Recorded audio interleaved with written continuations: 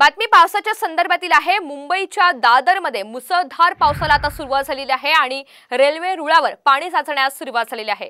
खरं तर कालपासूनच रात्रीपासून मुंबईमध्ये मुसळधार पावसानं पावसाला सुरुवात झालेली असून पावसाचा जोर हा अधिकच आहे आणि त्यामुळे मुंबईच्या अनेक सखल भागामध्ये पाणी साचण्यास सुरुवात झाली आहे. यामध्ये प्रामुख्यानं दादरमध्ये मुसळधार पाऊस बरसतोय आणि त्यामुळे रेल्वे रुळावर पाणी साचण्यास आता सुरुवात झालेली आहे. याचा परिणाम कुठेतरी वाहतुकीवर सुद्धा होतोय.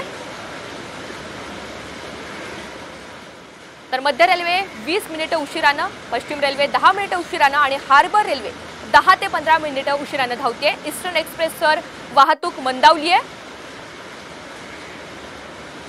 वेस्टर्न एक्सप्रेसवर सुद्धा वाहतूक सध्या धीम्या गतीनं सुरू आहे. हा सगळा पावसाचा परिणाम आपण पाहतोय. एलबीएस रोडवर अनेक ठिकाणी ट्रॅफिक जाम झालाय.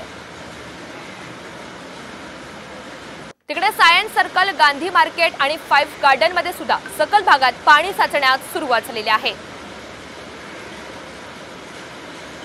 अधिकची माहिती आपल्याला वैदई काणेकर देत आहेत. वैदे आपण पाहतोय दादरमध्ये आता मुसळधार पाऊस सुरू झालेला असून रेल्वे रुळावर पाणी साचण्यास सुरुवात झाली सध्याची वाहतूक ही परिस्थिती नेमकी काय आहे?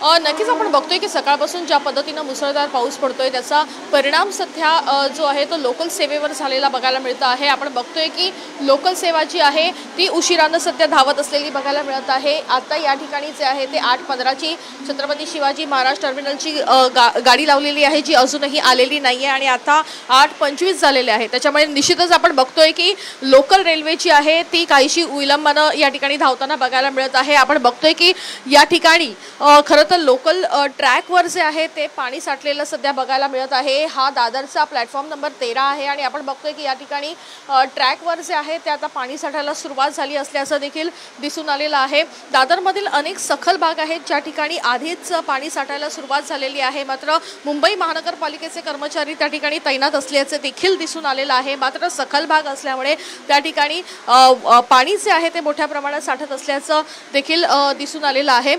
एकूण जर बघितलं तर याचा परिणाम एक तर लोकल सेवेवर देखील झालेला बघायला मिळतोय आणि अ, वाहतूक देखील जी आहे ती देखील मंदावलेली बघायला मिळत आहे. कारण अनेक वेस्टर्न एक्सप्रेस हायवे असतो किंवा ईस्टर्न एक्सप्रेस हायवे असतो ज्या ठिकाणी सखल भाग आहे त्या ठिकाणी मोठ्या प्रमाणात पाणी साठत असल्याचं देखील जे आहे ते दृश्य अनेक ठिकाणी सध्या दिसून येत आहे त्याच्यामुळे त्याचा परिणाम ट्रॅफिकवर सध्या बघायला मिळतो आहे. दुसरीकडे रेल्वे सेवा जी आहे ती काहीशी विलंबानं होते. त्याच्यामुळे निश्चितच चाकरमान्यांचे आणि त्यामुळे खरं तर आता सकाळी लवकर कामावर जाण्याची लगबग असताना दुसरीकडे मुंबईकरांना आता फटका बसलेला आणि नाहक त्रास कुठेतरी सहन करावा लागतोय. धन्यवाद सविस्तर अपडेटसाठी